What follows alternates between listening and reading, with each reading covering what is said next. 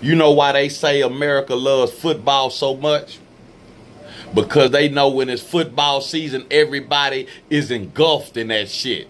So the powers that be, the system, the government, they got all kind of corrupt ass shit going on that motherfuckers ain't paying attention to, nigga. That's why they put Trump in office. You know why every day you turn on the TV, you see something with this bitch ass nigga, some other conspiracy or some cake ass shit this bitch ass nigga done done?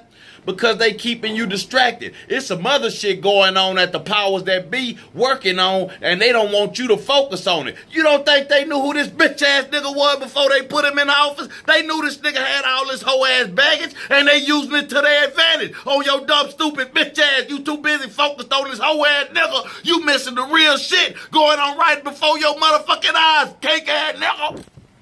Black superhero music, nigga. nigga.